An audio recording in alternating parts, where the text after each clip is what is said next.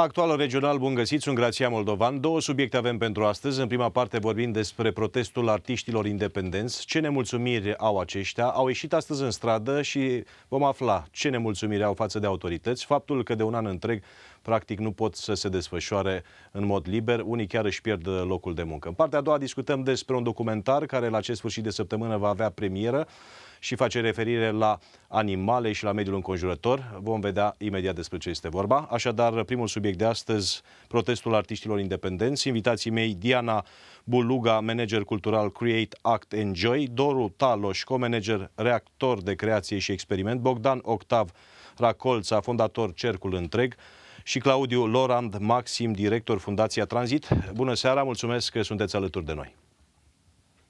Bună seara! Încep cu doamna Diana Buluga. Diana, bună! Uh, te rog să ne spui uh, de ce ești tu nemulțumită. Ai ieșit și tu în stradă alături de ceilalți astăzi uh, pentru a protesta față de aceste măsuri. Pe undeva înțelegem cam care ar fi răspunsul, dar așa, într-un mod concret, ce nemulțumire ai tu față de cei care practic nu te lasă să te, să te exprimi în mod liber pentru cei care uh, iubesc ceea ce se întâmplă la Create Act Enjoy?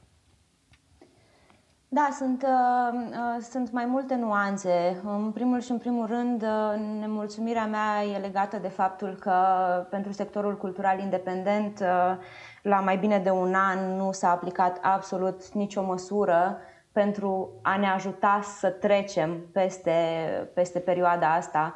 Uh, noi ne ocupăm destul de mult, adică în cea mai mare parte, cu proiecte comunitare. Asta înseamnă că uh, foarte rar avem uh, evenimente uh, cu bilet, de exemplu. Deci tot ce facem, facem cu, cu acces liber. Am putut și anul trecut Uh, adaptat foarte mult să, să ne ținem activitățile, dar în același timp nu am avut posibilitatea să producem absolut, absolut nimic. Iar asta ne-a pus în dificultate cu chiria spațiului, ne-a pus în dificultate cu colaboratorii pe care îi avem și, iată, pe care nu, nu-i, mai putem, uh, nu-i mai putem ține.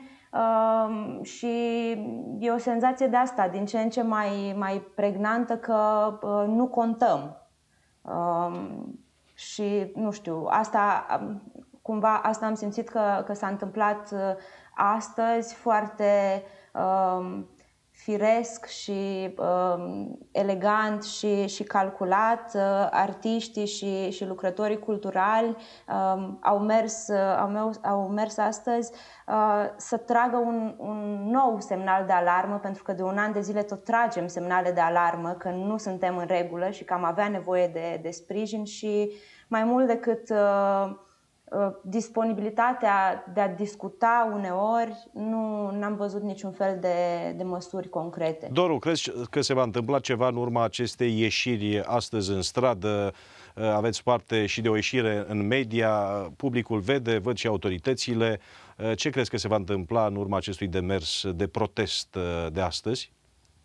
Nu știu dacă se va întâmpla ceva în urma acestui demers, dar sunt convins că vom insista.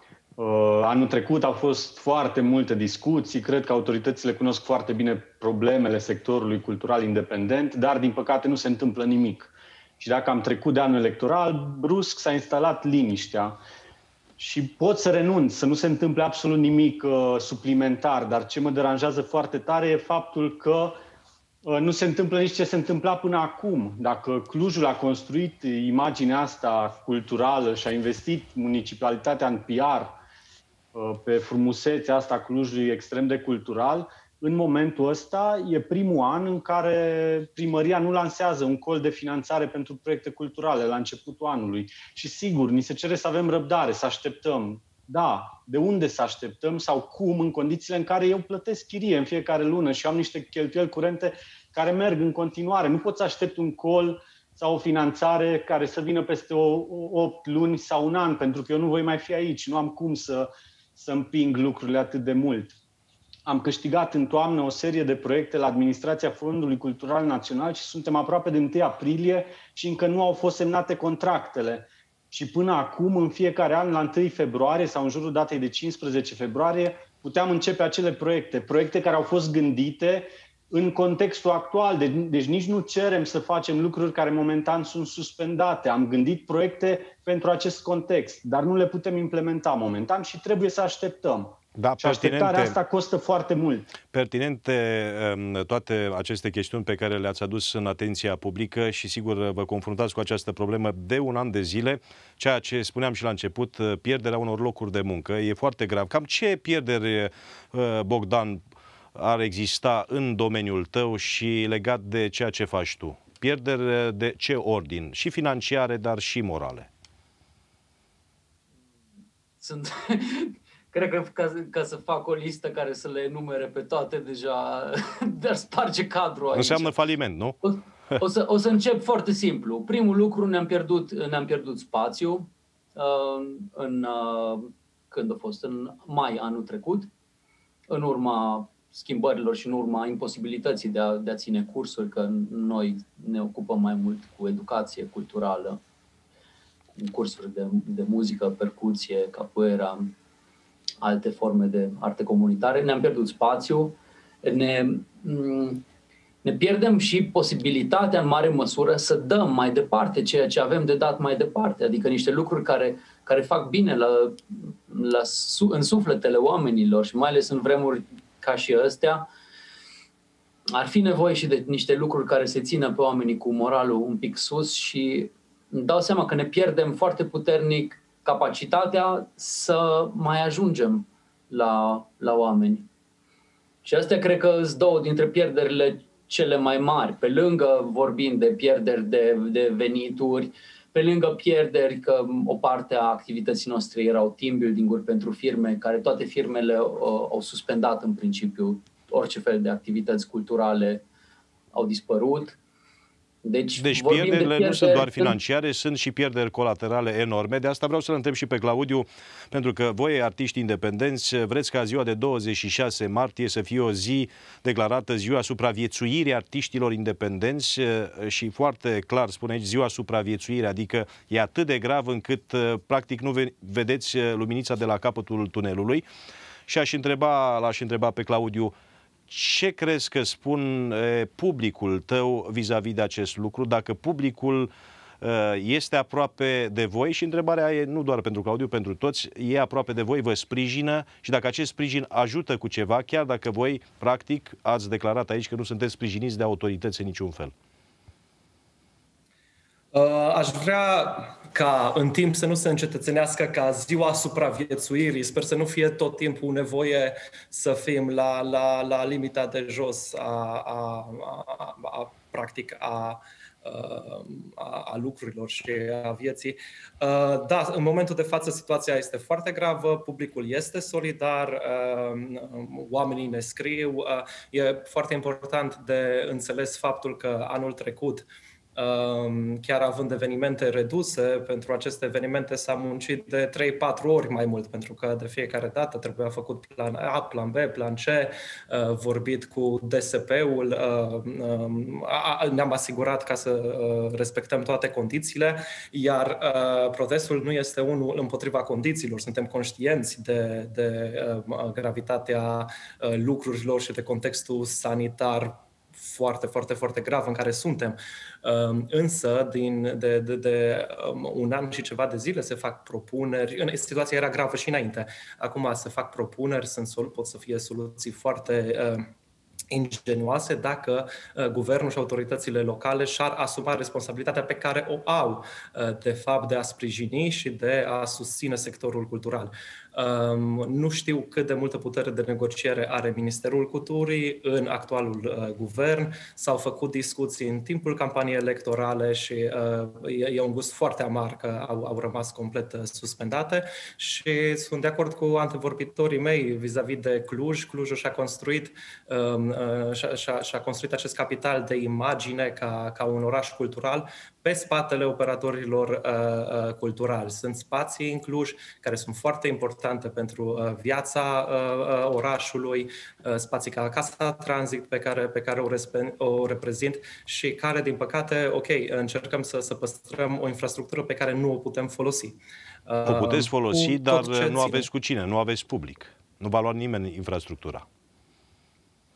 Uh, nu ne-a luat nimeni infrastructura, asta spun, întreținem o infrastructură de care nu ne putem folosi uh, nici măcar la jumătate din, uh, din capacitate. Absolut infrastructura corect. nu ne-a luat-o nimeni, dar întreținerea ei este costisitoare. V-aș ruga pe fiecare și încep cu Diana uh, să ne spuneți, pentru că ați făcut un rând simbolic acolo, ați participat voi, dar și mulți alți colegi de-ai voștri care sunt uh, și fac parte din această tagma artiștilor independenți și ați lăsat acolo câte un obiect simbolic care spune foarte mult despre situația actuală, despre uh, oful vostru foarte mare, că vă pierdeți locurile de muncă, că publicul nu vă poate vedea, că nu vă puteți uh, exprima în mod liber și voi sunteți niște creatori de artă. Deci, Diana, ce uh, obiect ai lăsat acolo și ce însemnătate are? Fiecare uh, să ne spună acest lucru. Te rog. Am lăsat un tricou din uh, 2012, um, primul tricou făcut cu numele asociației din care fac parte. Um, gândul cu care am dus acel obiect a fost uh, legat de faptul că anul acesta a fost primul an în care m-am gândit real la posibilitatea ca Create, Act, Enjoy să nu mai existe la finalul, uh, la finalul anului și cumva după 8 ani de muncă și a mea și, și a colegilor mei e un gând foarte greu cu care, cu care mă, mă confrunt, dar el a apărut și nu știu, um, da. Da, asta, știu că e greu. E greu pentru că fost. e o situație într-adevăr foarte grea a voastră, dar nu numai a voastră și a celor din Horeca și putem continua așa la infinit. Doru, ce obiect ai lăsat și ce a reprezentat el? Da, am lăsat un, cost, un costum dintr-un spectacol foarte drag mie, produs în 2016. Uh, întâmplător, acel costum e o salopetă, e un combinezon uh, uh, sanitar, a zice, da, destul de recognoscibil azi și spectacolul se numea În viitorul apropiat uh, și am considerat că e o legătură destul de uh, importantă cu acest moment. Dar dincolo de un obiect pe care l-am lăsat acolo, am considerat că e important să atragem atenția asupra faptului că se pierd, se pierd resurse uma, umane, se pierd oameni, pentru că sunt foarte mulți oameni și în jurul acestor organizații care se prezentează aici, care, neavând niciun fel de venit în perioada asta, trebuie să se reprofileze și cred că unii nu se vor mai întoarce către meseria în care au fost formați. Timpul ne presează. Bogdan, te rog. Practicau. Mulțumesc, Doru. Bogdan, te rog, ce obiect ai lăsat? Am lăsat acolo fluieraș. Um, fluierul pentru mine e instrumentul care conduce horele și horele fac eu parte a activităților noastre și una dintre chestiile care cred că în momentul ăsta e să duce lipsă foarte mare a să ne putem pune împreună și să ne, să ne ținem de mâini și să formăm iară un Da, într-o horă a a adunării pentru cultură a publicului care trebuie să se guste din cultura voastră și voi faceți eforturi mari în sensul acesta. Nu e ușor să creați cultură. Și Claudiu, ce ne spune, ce obiect ai lăsat și ce însemnătate are el pentru această situație? Te rog. Am, luat, am lăsat un stativ pentru partituri pe care nu l-am mai putut folosi uh, anul, uh, anul trecut, pentru că nu am mai avut concerte, uh, cu un titlu, mică metodă de rezistență. Mulțumesc foarte mult. Acum, într-un minut, chiar vă rog într-un minut, fiecare câte o frază pentru publicul său și o scurtă prezentare, cât se poate în 10-15 secunde. Vă rog, începem cu Diana, pentru ca publicul să vadă că voi, în timpul acesta în care nu puteți fi văzuți, de fapt voi creați și așteptați publicul să vină către voi și să vă sprijine. 10 secunde fiecare. Suntem încă aici, suntem în spitale cu terapie prin artă, suntem în sate cu educație non-formală. Ne-am dorit să vedem mai mult că cultura chiar contează. Cultura e muncă, cultura e serviciu public. Am fost prezenți în toate aceste luni, am avut evenimente online, spectacole, dezbateri, performance-uri și ateliere și în continuare suntem foarte atenți la publicul nostru și tragem să mergem înainte. Te rog, Bogdan. Pregătim în lunile astea un spațiu și activități care să ne ajute, odată ce ieșim din pasul ăsta numit pandemie, să ne reconectăm unii cu ceilalți și arta noastră e legată de acest împreună și pentru acest împreună lucrăm și în acest împreună vă așteptăm pe viitor să vă aduceți aminte.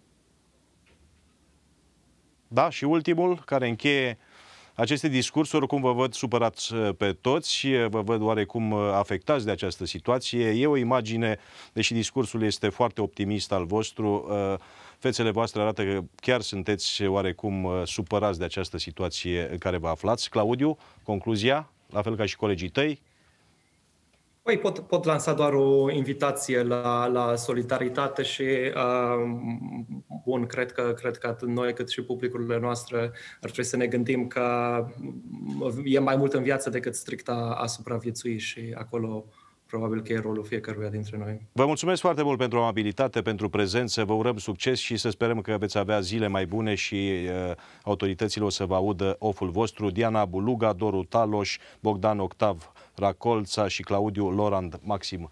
Trecem la subiectul 2 de astăzi. Vorbeam despre o premieră a unui documentar despre animale și mediul înconjurător. Vedem materialul și revenim.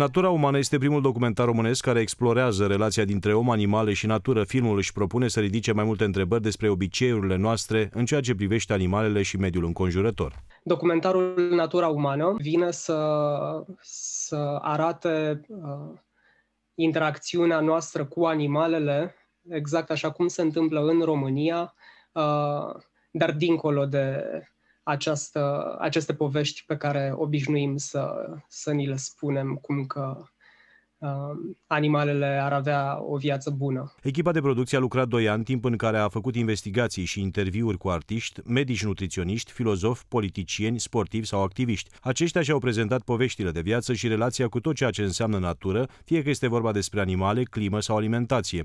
Unul dintre regizori, Eduard Nistru, spune că ideea de a face un astfel de film a venit dintr-o altă activitate de a sa. Sunt activist pentru, pentru drepturile animalelor și pentru eliberarea animalelor în urma unor acțiuni de stradă uh, pe care le, le făceam uh, și în care prezentam oamenilor imagini cu animale, dar din alte, din ferme din alte țări, uh, exista răspunsul acesta că la noi nu se întâmplă așa. Un răspuns și mai des întâlnit era că animalele la țară, la bunica, la bunicul, Uh, sunt fericite. Iar pentru că filmul abordează idei precum responsabilitatea față de animale, în documentar apar și reprezentanții Asociației TAC Medicină Veterinară Socială. În România, educația și informația ne plângem mereu și în domeniul nostru și în general uh, lipsesc. Așa că filmul ăsta eu cred că e un, uh, un loc bun și profund în care se găsește informație despre Uh, bunăstarea animalelor în general și informații există, de fapt, uh, doar că fie e greu de ajuns la ea, fie oamenii uh, nu înțeleg, fiindcă nu e bine transmisă. Și cred că filmul ăsta schimbă exact situația asta.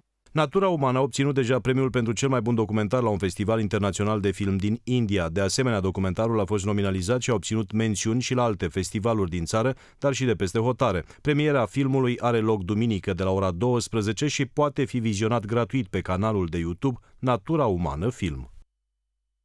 Acesta este primul documentar de acest gen din țară, care a fost și multipremiat. Felicitări regizorului Eduard Nistru alături de noi. Bună seara, mulțumesc că te-ai alăturat discuției vis-a-vis de acest documentar. Publicul nu știe foarte multe. Unde putem să vedem documentarul? Seara și vă mulțumesc foarte frumos pentru oportunitatea de a vorbi despre documentarul Natura Umană și ca să vă răspund la întrebare, documentarul poate fi văzut gratuit pe canalul de YouTube Natura Umană Film, începând cu duminică 28 martie de la ora 12, ora prânzului. Noi vom vedea documentarul, ne vom face o idee, dar cum ai văzut tu ca regizor uh, Natura Umană, relația dintre om, uh, mediu și animale?